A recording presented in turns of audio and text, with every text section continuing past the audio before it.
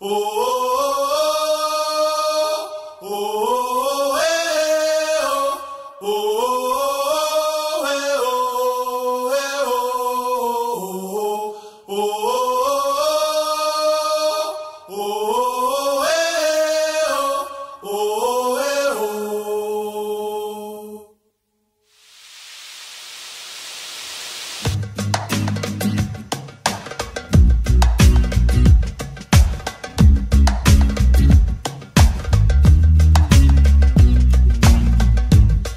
Africa, you are the cradle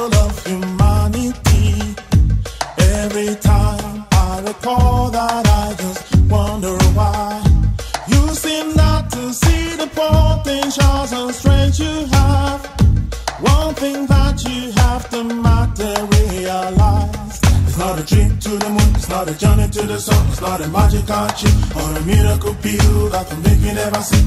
But take away your borders and become like brothers for the sake of generations to come.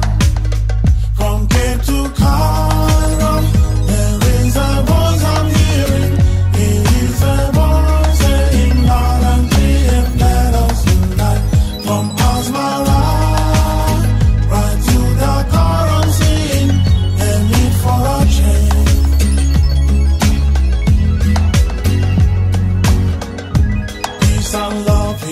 you need for this to become true. From Nkrumah to Mandela, you heard it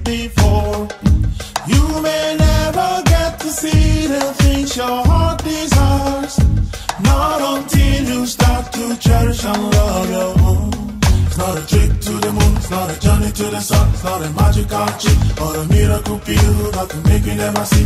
But take away your borders and become like brothers for the sake of generations to come. From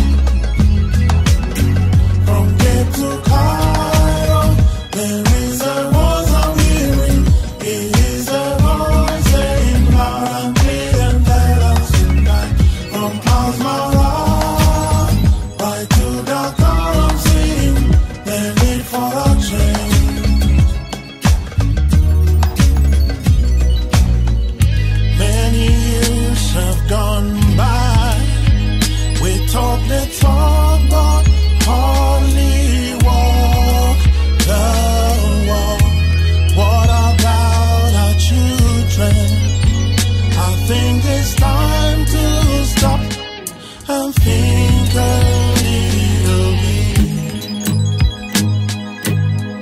Hello, Africa.